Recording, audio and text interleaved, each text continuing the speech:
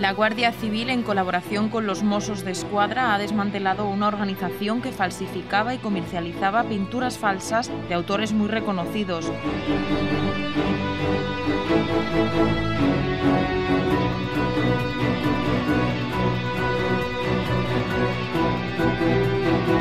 En total han sido detenidas seis personas e intervenidas más de 100 pinturas entre trabajos acabados y en proceso de fabricación.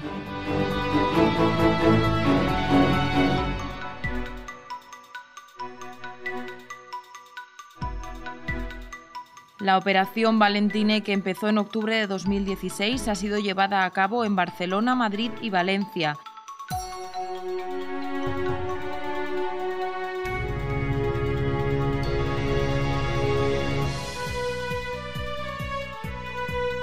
La banda tenía dos talleres en Madrid donde estudiaban las obras de autor y se realizaba un boceto. Después, dependiendo de la dificultad del trabajo, otro pintor con grandes conocimientos artísticos finalizaba la obra.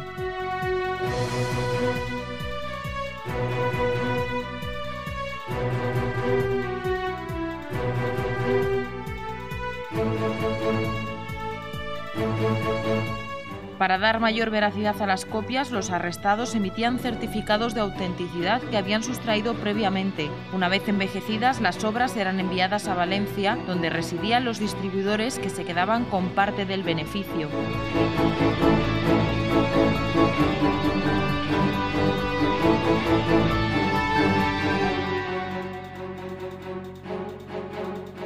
Las más de 100 obras de arte vendidas han causado un perjuicio económico de cerca de 100.000 euros.